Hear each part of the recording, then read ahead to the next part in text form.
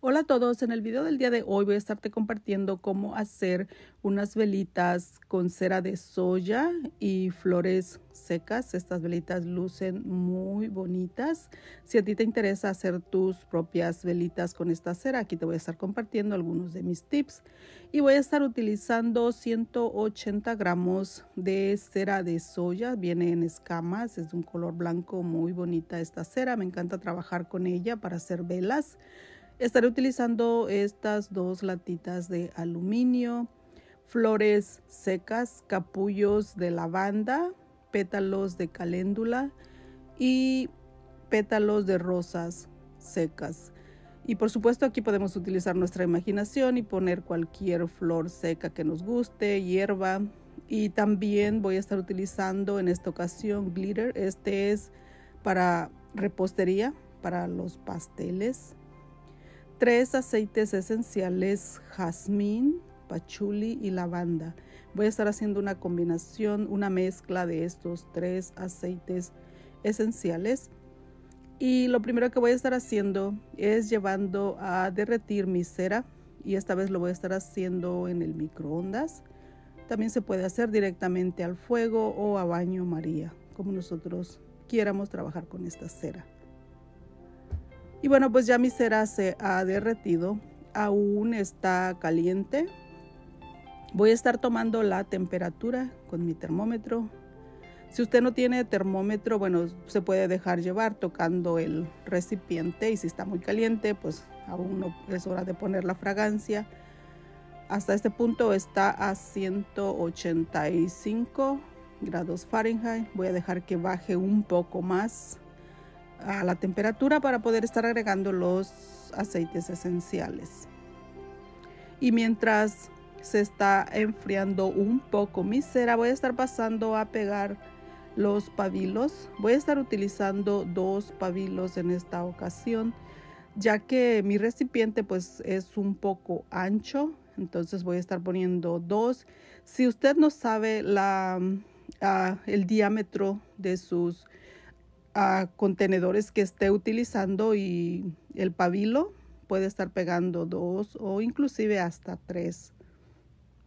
Y yo en esta ocasión estaré utilizando dos pabilos porque muchas veces es complicado con lo de los pabilos para saber el diámetro entre el frasco, el pabilo, entonces es mejor así para ir más a lo seguro poner dos o poner tres, depende lo ancho que sea su contenedor que usted esté utilizando.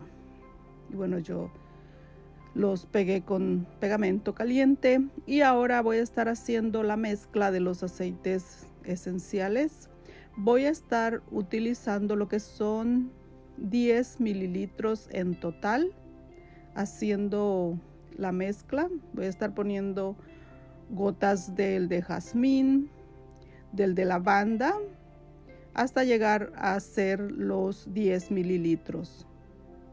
Y a la hora de utilizar aceites esenciales para hacer nuestras velitas, la verdad sí se gasta un buen de aceites esenciales porque también nos va a salir de pronto una vela pues un poco más costosa ya que los aceites esenciales pues tienden a ser más costosos que las fragancias para velas. Y también estaré agregando, claro, el de pachuli, que es el que va a ser la nota profunda para esta mezcla. Y de este voy a estar agregando unas cuantas gotitas, como unas 5 gotas es suficiente, ya que ese aceite es muy, muy fragante. Y ahora ya que está todo los 10 mililitros, voy a estar pasando a revolver esto muy, muy bien.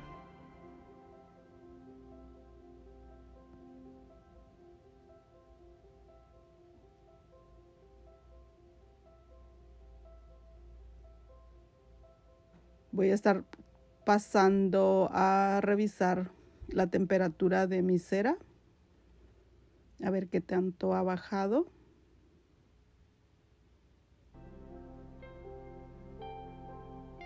Ya está lista para pasar a agregar los aceites esenciales. Está a 145 y es la hora que yo voy a estar poniendo la mezcla de mis aceites. Con el termómetro se hace más fácil la hora de checar la temperatura de la cera. Pero sí, como ya le mencioné, si no tiene termómetro, pues se deja llevar tocando el recipiente donde está su cera y así también se pueden hacer las velitas. Mezclamos muy muy bien para integrar muy bien los aceites esenciales o la fragancia. Huele muy bien esta mezcla. Me encantó cómo quedó el resultado.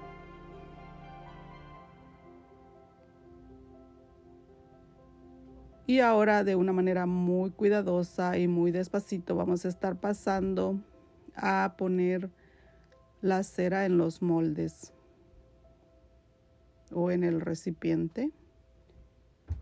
Y aquí lo vamos a hacer de una manera bien despacito y no vamos a llenar hasta arriba, vamos a dejar un espacio.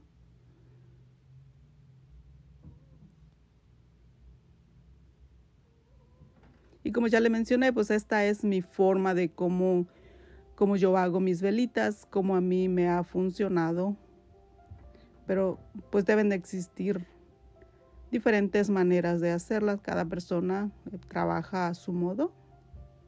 Yo simplemente le comparto cómo yo las hago. Voy a reservar este poquito de cera para pasar a poner las flores. Las vamos a dejar solidificar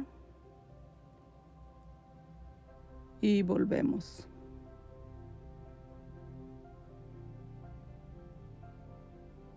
Y bueno, aquí ya se están solidificando, pero aún le falta. Como se ve, está cambiando de color la cera.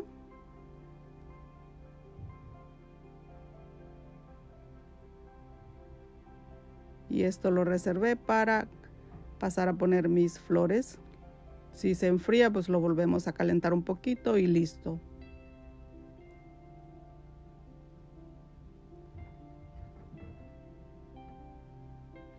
Y aquí tengo otra velita. Y lo que me gusta de la cera de soya, que se quema bien parejito y se termina toda hasta el final, no deja nada en el, en el recipiente, se termina toda bien completita, por eso es que me gusta utilizar mucho esta cera. Y también es fácil de limpiar los contenedores ya que se ha terminado la velita. La verdad, esta cera es fantástica. A mí me encanta trabajar con ella y es muy fácil de utilizarla también. Y las velas, la verdad, lucen muy, muy bonitas. Y bueno, pues ya se han solidificado muy bien. Es hora de agregar la la cera que reservamos para pasar a poner las flores. Un poquito nada más vamos a estar agregando y enseguida vamos a decorar nuestras velitas así de esta manera con mucho cuidado, con mucho amor vamos a hacerlo. Y no hay necesidad de poner muchas flores, simplemente algunos cuantos por ahí. Y voy a estar agregando un poco del glitter. Aunque este glitter para mi gusto en cámara no se alcanza a notar. Porque como es, ah, es como un tipo más como transparente, no, no, no, no mucho me, me gustó ese glitter. Pero podemos escoger alguno de otro color para que se note más. Y ahora voy a estar poniendo también lo que son los capullos de la lavanda. Estos capullos de lavanda huelen muy, muy rico. Pero realmente a nuestra vela no le va a dar ninguna fragancia cuando se esté quemando. Eso simplemente es para decoración. Pero sí huelen muy bonitos los capullos de la lavanda. La lavanda, bueno, es bien relajante. A mí me encanta utilizarla.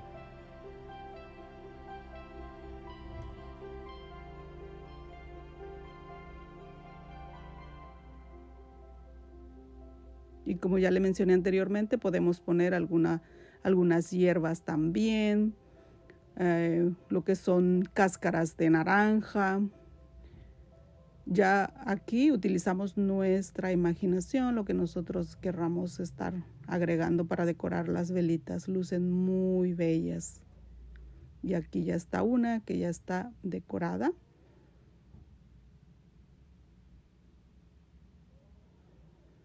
Y así es como quedaron las dos.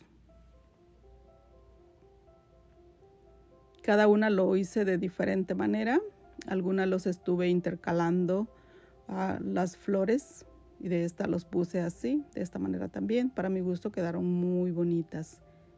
Y el glitter apenas si se alcanza a apreciar en cámara. Quizás si hubiese puesto el color dorado hubiera quedado mejor. Pero como ve, también se le puede agregar lo que es el, el glitter de... Tiene que ser del que es para repostería. Al menos a mí es el que me ha funcionado. No, no me gusta agregar el que es como para cosméticos o, este, o para hacer manualidades. Yo prefiero utilizar mejor el de repostería. Y bueno, pues así, así es como han quedado nuestras velitas. Y aquí tengo una que hice en un recipiente de cristal. Luce también bien bella. Y esta es otra forma más de cómo hacer las velitas con cera de soya. Y también pues utilizando el glitter. Pero no se alcanza a apreciar mucho. Es como un poco blanco, tirándole a blanco más o menos. Entonces para la próxima estaré utilizando algún otro que tenga más color porque este pues no se aprecia muy bien en cámara. Pero también se le puede agregar este tipo de glitter que es para repostería. Y pues así es como han quedado nuestras velitas, ya están listas para encenderse y disfrutar de una luz bien bonita, bien relajante, bien, bien tenue.